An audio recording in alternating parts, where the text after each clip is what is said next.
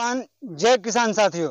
आज का टॉपिक है जो आप थंबनेल पे देख रहे हैं, रूपचंदा मछली। रूपचंदा मछली का कल्चर कैसे करें? किस किस मछली के साथ में रूपचंदा मछली का कल्चर करें? और रूपचंदा मछली का मतलब ग्रोथ क्या है? कितना क्वांटिटी में रूपचंदा मछली का सीड स्टॉक करें? तो आइए मैं विस्तार से मुद्दे पे आता हूँ। तो देखिए, एक बीघा का तालाब यदि है। आप यदि पंगासियस का कल्चर करते हैं। जासर मछली का यदि आप कल्चर करते हैं, एक बीघा का तालाब में तो आपको मैं कहता हूँ कि 500 400 से 500 मछलियाँ आप रूपचंदा को कल्चर कर सकते हैं, एक से डेढ़ बीघा का तालाब में। और उसमें आपको 1000 आईएमसी मछली भी पल सकती है। उसमें आपको चाहिए ग्लास कार्प कॉमन कार्प कतला बिगेड नैनी, इस पाँच मछली के साथ आप रूपचंदा का कल्चर कर सकते हैं। मैं हंड्रेड टेन परसेंट कहूँगा कि कोई नुकसान नहीं होगा। बस सरते आप एक सिस्टम के थ्रू करेंगे तो आप मनमानी तरीका से जो साइज़ का मन हुआ, जो साइज़ का सीड मिक्सित सीड डाल देंगे तो आपको नुकसान हो सकता है। उसमें मेरी कोई गलती नहीं है। फिर ये नहीं बोलेगा कि भैया आप तो बोले थे रूपचंदा मछली को मिक्स कल्चर कर सकते हैं, फिर मेरा नुकसान कर दिया। तो नहीं, आप एक विधिवत सिस्टम से करेंगे तो आपको नुकसान नहीं होगा। हंड्रेड टेन परसेंट गारंटी के साथ कहूँगा कि रूपचंदा मछली ग्रोथ करेगी और आईएमसी के साथ में बहुत मज़े से ग्रोथ करेगी। ना आईएमसी को कोई डिस्टर्ब होगा और ना पंगासियस को कोई डिस्टर्ब होगा। तो उसके लिए करना क्या होगा आपको? कि पंगासियस यदि आपको एक से डेढ़ बीघा का तालाब में यदि दस से पंद्रह हज़ार बच्चा है तो आप उसमें डेढ़ हज़ार आई का कल्चर करें, जिसमें 500 बच्चा 400 बच्चा आप रूपचंदा का छोड़ें। और आपको ये ध्यान रखना होगा कि आईएमसी मछली जब हमारी 100 ग्राम की हो जाएगी 50 ग्राम से 100 ग्राम का बीच में, तब आपको रूपचंदा का सीड छोड़ना है इसमें। कब छोड़ना है? जब 100 ग्राम की मछली रूपचंदा का यदि आईएमसी का हो जाता है तो रूपचंदा का बच्चा छोड़ना है। और रूपचंदा का बच्चा आपको 20 ग्राम का होना चाहिए। 100 ग्राम, यानी 20 ग्राम, यानी कि उसका ग्रोथ आपका बहुत छोटा होना चाहिए रूपचंदा का। और बच्चा ईयरलिंग होना चाहिए आईएमसी का, क्योंकि ईयरलिंग बच्चा है सौ ग्राम का उसमें तो आपको 20 ग्राम का बच्चा छोटा बच्चा रूपचंदा का ईयरलिंग बच्चा लेना है। और वो मैं श्योर कहूँगा कि जिसमें आप पंगासियस का कल्चर करेंगे आईएमसी जिसमें आपको केजी निकसेगा, उसमें रूपचंदा भी आपका 800-900 ग्राम का निकसेगा। ये श्योर मैं 110 परसेंट कहता हूँ। अब मैं खुद कल्चर भी कर रहा हूँ इसमें। आपको मैं आइए, मैं लाइव दिखाता हूँ।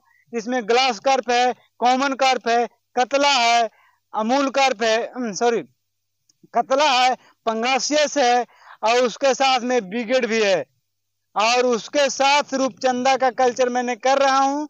आपको मैं दिखाता हूँ कि मेरे पाउंड में रूपचंदा दो दो सौ ग्राम का भी हो गया है। और कतला भी सौ, दो सौ ग्राम है। कतला हालाँकि ग्लासकर हम आई ज़्यादा बड़ा नहीं डाल पाए थे, लेकिन मेरा पचास ग्राम से प्लस का आईएमसी था और रूपचंदा छोटा था। फिर भी रूपचंदा का ग्रोथ बहुत अच्छा आया है और आईएमसी मज़े से रह रहा है, कोई डिस्टर्ब नहीं है।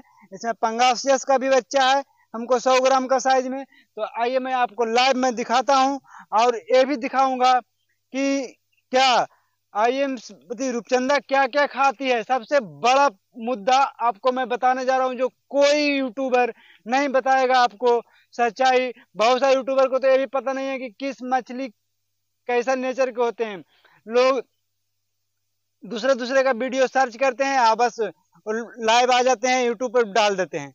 क्योंकि वो कभी कल्चर करते नहीं, वो अपना तालाब उनका है नहीं, मछली की कोई अनुभव है नहीं, कहीं से फ़िश फ़ार्मिंग का ट्रेनिंग किए नहीं, उन्होंने बस सिर्फ़ यूट्यूब बनाना है। उनका मुद्दा है यूट्यूब बनाना व्यूज़ बनाना यूट्यूब के ज़रिए कुछ अच्छा करना।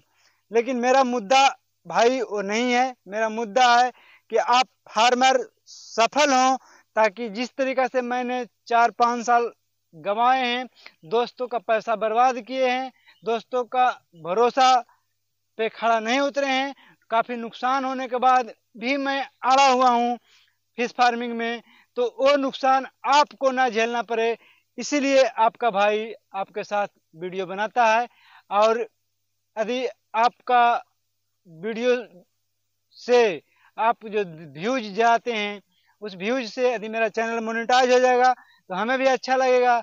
और इसी तरीका से टॉपिक में नए नए लाता रहूँगा। तो रूपचंदा मछली क्या खाती है? क्या खासियत है? आईएमसी के साथ मिक्स कल्चर करने में क्या क्या बेनिफिट है? वो मैं लाइव गिनाता हूँ आपको। गिनते जाइए। नंबर वन जिस पाउंड में आप मच्छर होता है, मच्छर जैसे जो कीड़ा होते हैं, जो आप देखते होंगे, मच्छर जैसे भनभनी टाइप के बहुत सारे कीड़ा होते हैं।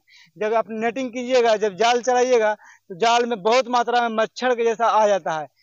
वो आपको पहला बात की तबाह से गायब हो जाएगा रफू चक्कर कर देगा। वो सारे को चुन चुन के खा जाता है। रूपचंदा का बेस्ट भोजन है मच्छर जैसे जो जीवाणु होते हैं, कीड़ा होते हैं बड़े बड़े जो कीड़ा होते हैं, पानी के अंदर, उसको रूपचंदा को बेस्ट भोजन माना जाता है, वो लाइव जीवाणु खा जाएगा। उसके अलावा जितने भी नौवा कहार पानी में जो होते हैं, जो ऊपर नीचे जो कीड़ा मकोड़ा जो करते रहते हैं, वो आपको नहीं दिखेंगे। जब वो नहीं दिखेंगे तो उसके ज़रिए जो फंगस जो होता है, उसके ज़रिए जो बैक्टीरिया जो पैदा होता है, वो बैक्टीरिया आपका तालाब में नहीं होगा तो आपका तालाब में श्योर है कि जब फंगस नहीं आएगा, इन्फेक्शन नहीं आएगा तो ग्रोथ मछली का ज़्यादा करेगा। और दूसरी बात, जब वो सब मच्छर जब पानी के अंदर जब तैयार होते हैं तो वो भी पानी में से बिजोल ऑक्सीजन को शोषण करते हैं। और वो नहीं होगा तो पानी में बिजोल ऑक्सीजन की मात्रा भी बरकरार रहेगा, तंदुरुस्त रहेगा तो मछली हमारी तंदुरुस्त रहेगा। तो रूपचंदा का तो पहला फ़ायदा आप गिना दिया आपको। दूसरा फ़ायदा क्या है कि रूपचंदा घास भी खाती है। आपको मैं लाइव दिखाता हूँ, आइए वीडियो पे बना रहिए। मैं आपको लाइव दिखाता हूँ कि मेरी रूपचंदा मछली घास खा रही है या नहीं खा रहा है। ग्लास्कर के साथ है या फ्रेंडली घास को खा रहा है। कोई इशू नहीं है, कोई किंतु परंतु नहीं है। यदि कोई बोलता है कि रूपचंदा सिर्फ़ फ़ीड खाती है, रूपचंदा हमारी मछली को पूछ का खा जाएगी तो वो सब बेकार की बात। जो देख रहे हैं, चलिए आपको मैं लाइव दिखाता हूँ कि रूपचंदा मछली किस तरीके प्रकार से घास भी खाती है। तो मैं लाइव आपको, मैं वीडियो पे दिखाता हूँ, देखिए, ये जो घास डाला हुआ है, ग्रास कार्प के लिए डाला हुआ है, और देखिए, कितना कड़ा घास डाला हुआ है। देखिए, जो मछली रेड कलर का जो पुच्छी मार के जो खींच रहा है, देखिए देखिए देखिए, ये जो रेड कलर का जो दिख रहा है आपको, तिनका के पीछे ग्रीन रेड की जैसा रेड रेड मछली जो और रूपचंदा है। ये रूपचंदा मछली है। देखिए, कितना चाव से घास निकाल निकाल के वो खा रही है। तो आप श्योर हो जाइए कि रूपचंदा मछली भी घास खाती है? तो और इससे बेहतर क्या होगा? जब आपको फ़ीड नहीं रहेगा, कंज्यूम तो घास भी खाएगी। देखिए ग्लास कार्प जो आ रही है ग्रीन ग्रीन ग्रीन कलर का मछली तो पानी के अंदर थोड़ा सा झांकने की कोशिश कीजिए तो ग्लास कार्प है और जो मछली, जो रेड टाइप की जो आती है, वो रूपचंदा है। तो आपसे गुजारिश है कि रूपचंदा का कल्चर बेफिक्र देखिए, ये जो मछली जा रही है ग्लास कार्प है देखिए, इधर रूपचंदा भी था। यहाँ पे मछली रूपचंदा था, और आपको मैं चलिए चलिए मैं दिखाता हूँ रूपचंदा। तो लाइव लाइव आपको दिखा दिए कि रूपचंदा घास खाती है, और बेनिफिट तो ये भी है कि यदि रूपचंदा का कल्चर करेंगे तो आपको मछली का जो भी मतलब यदि किसी प्रकार से यदि मछली मर गया, तालाब से आप नहीं निकाल पा रहे हैं तो जो तालाब में जो गंदगी होता है, वो भी नहीं होगा, वो मछली को हजम कर जाएगा। आप चिंता मत कीजिए कि हमको निकाल के फेंकना है। वो जैसे मछली सड़ेगी तो बस अपना आहार बना लेगा, कहानी खत्म। आपको मतलब इन्फेक्शन मछली को तालाब में इन्फेक्शन होने का खतरा खत्म हो जाएगा।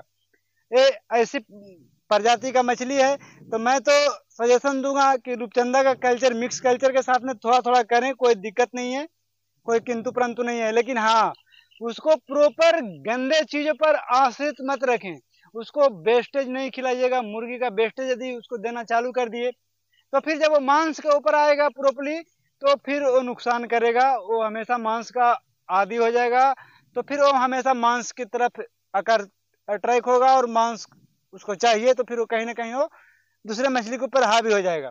तो इसके लिए आप सभी से गुजारिश है कि रूपचंदा मिक्स कल्चर के साथ में करें, बेहिचक करें, और आप सभी भाई से निवेदन है, यदि इतना देर हमारे साथ फ्रेंडली समय बिताए। तो आप सभी से गुजारिश है कि कृपया मेरे चैनल को सब्सक्राइब कर दें। युवा सोच विकास कुमार आपके साथ हमेशा सेवा में समर्पित है। आपका भाई जय हिंद, जय भारत।